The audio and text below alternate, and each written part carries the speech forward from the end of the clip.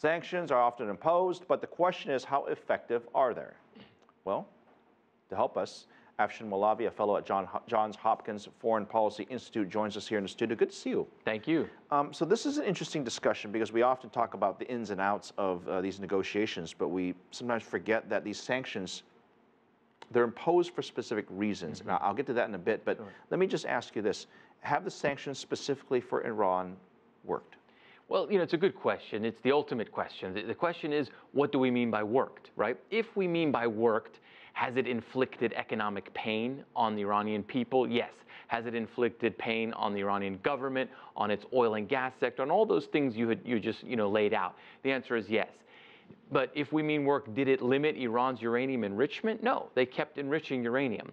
Uh, and so you had this, this moment where Iran was enriching uranium, sanctions kept going up and up and up, and at some point, uh, what the US administration wanted was an intensification of the conversation among hardliners in Iran to the point where they say, let's negotiate. So in that sense, one might argue that it did work.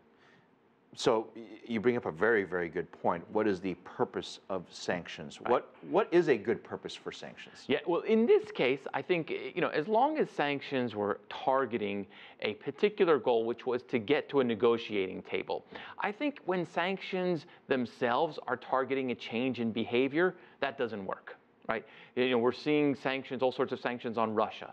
Um, it's not going to change uh, Vladimir Putin's behavior. Um, it, sanctions alone would not change Iran's behavior. But if sanctions are targeted to get to a negotiating table, then maybe one can use the term "quote unquote" worked there.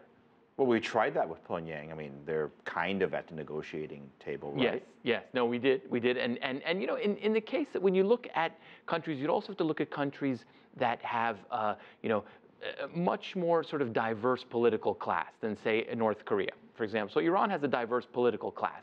You've got moderates, you've got reformers, you've got hardliners. And the idea within these sanctions was to get the moderates and the reformers to win the argument against the hardliners. But in a place like North Korea, when you don't have that diverse political class, it's less likely to work. Specifically back to Iran, if, mm -hmm. um, if there are plenty of critics that, that are, not uh, for these sanctions, mm -hmm but I always wondered, and, and we'll never know the answer to this, but you can help us. If the sanctions had never been in place, what mm. could have happened? It's, it's, well, it's a good question. I mean, first of all, Iran could have participated in what I consider the most important geoeconomic transformation of the past 10 to 15 years, which is the rise of the emerging markets. When you look around at similar sized economies, you look at Turkey, Malaysia, uh, Indonesia, Brazil, some of the big emerging markets, they've all seen dramatic growth. Uh, Iran has not participated in that, particularly in the past five years because of these sanctions. So A, Iran would have been part of the emerging markets conversation. B, would Iran have uh, come to the conclusion that, it, that its nuclear program was not necessary, we'll never know. It, here's, here's another issue I want to ask. Um, country A doesn't like the actions of country B, therefore they impose sanctions. Mm -hmm. Those sanctions ultimately don't hurt the government, they, mm -hmm. but they ultimately hurt the people of right. country B. Right. Is there a more effective way to to, to do this where because it's, if, if it's governments that disagree with each other, I, mm-hmm. I don't know if punishing the people, which in many cases some would argue that right. this is another example of that, um, it doesn't work. Right. You know, it, you know, it's the, it's the ultimate question about sanctions because, you know, no matter how smart you make them, no matter how targeted you make them, they are a blunt instrument. They're going to hurt middle classes.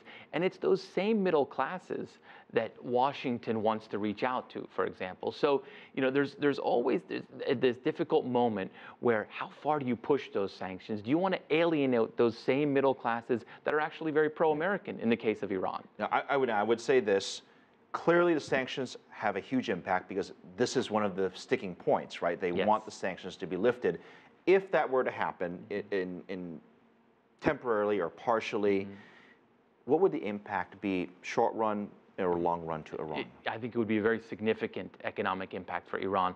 As I said, Iran has been underperforming its potential dramatically.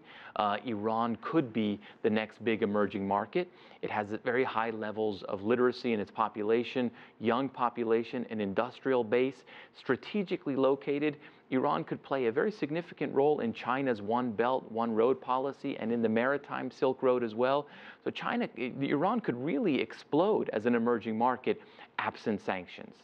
All right, uh, interesting topic. Uh, Afshin Molavi, thank you very much, Johns Hopkins uh, University. Thank you. Thank Uh,